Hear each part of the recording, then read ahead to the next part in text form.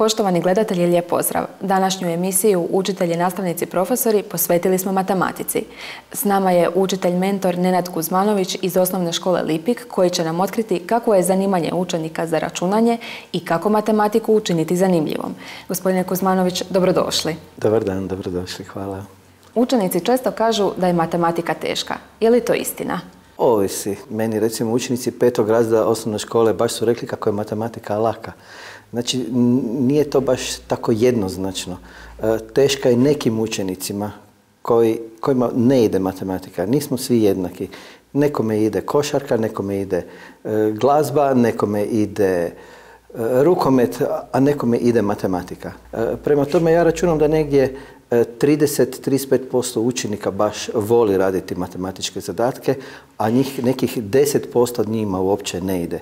I sad zbog tih 10% svi misle da kao matematika je težak predmet. Nije. Ovisi to od programa, ovisi od nastavnika, ovisi od učenika, ovisi od roditelja. Imao sam primjer gdje je jedna majka svom učeniku nametnula da je matematika teški predmet. Ja sam se onda prvo morao suočiti s time i da njemu, da njemu olakšam tu matematiku, da on zavoli matematiku.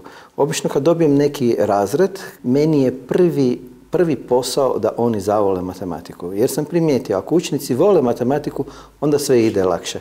A ako učenici mrze matematiku, onda im sve ide teže.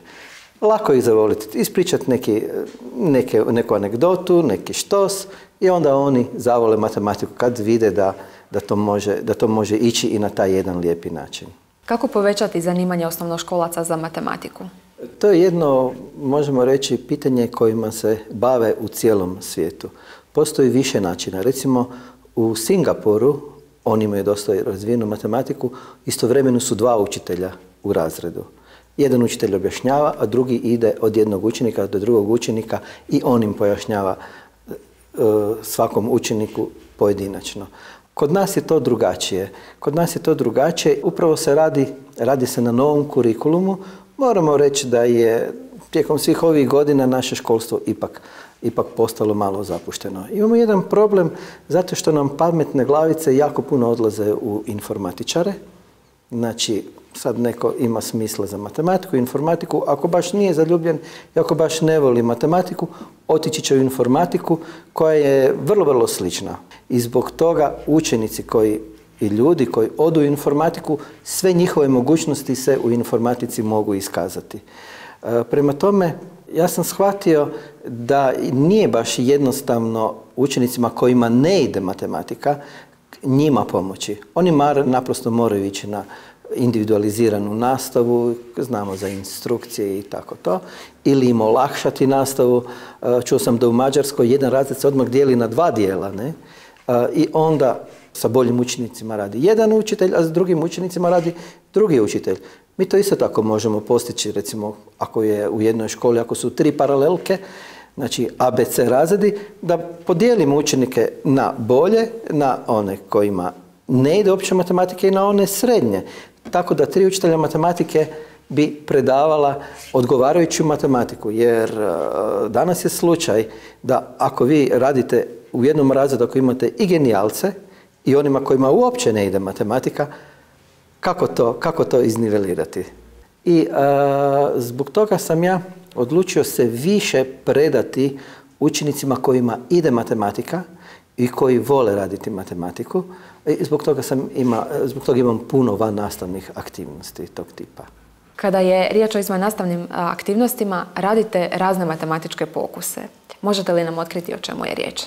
Kao srednjoškolski profesor radio sam u, u školi talijanske nacionalne manjine u Puli i često sam išao u Italiju na njihove projekte i e, njih sam, kad sam u srednjoj školi e, radio, njih sam primjenjivao i učenici su baš obožavali te pokuse.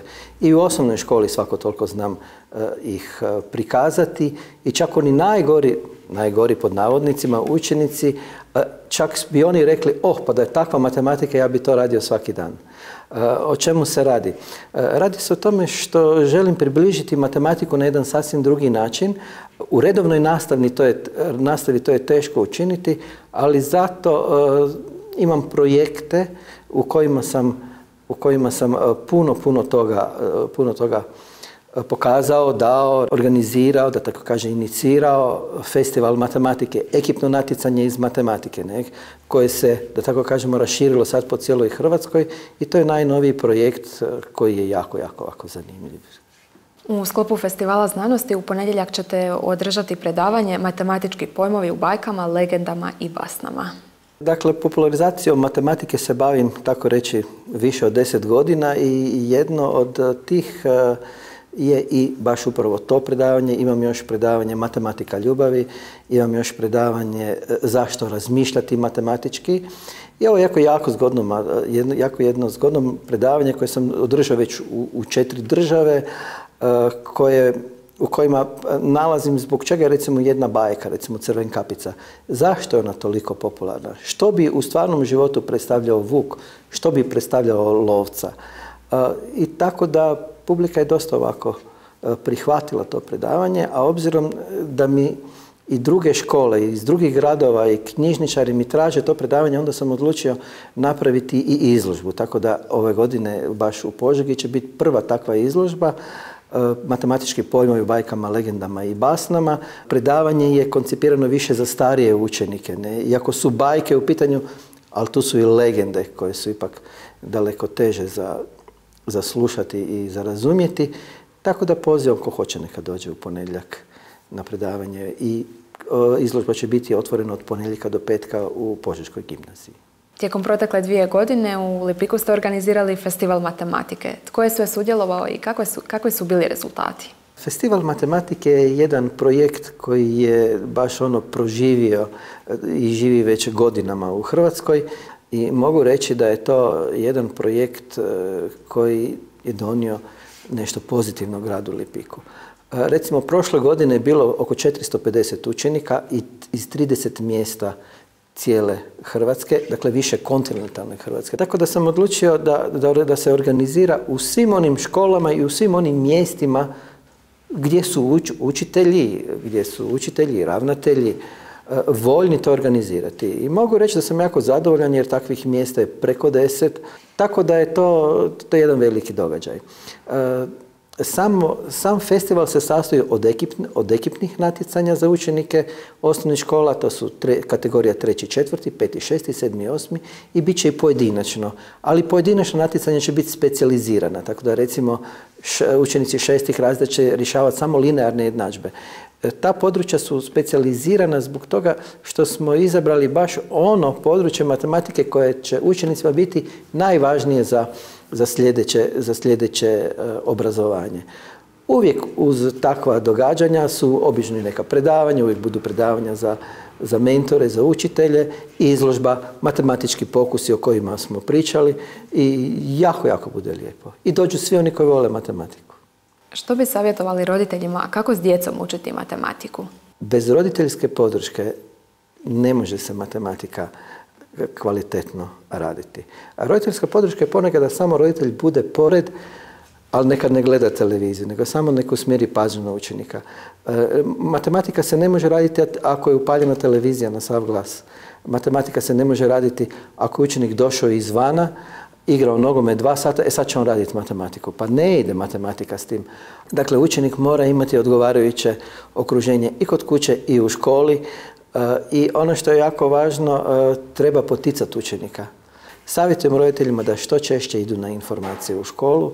To je važno i za roditelje, i za nastavnike, ali i za učenike. Učenici to jako, jako vole. I posljednje pitanje, zašto trebamo razmišljati na matematički način? Naprosto se nama serviraju gotove informacije danas.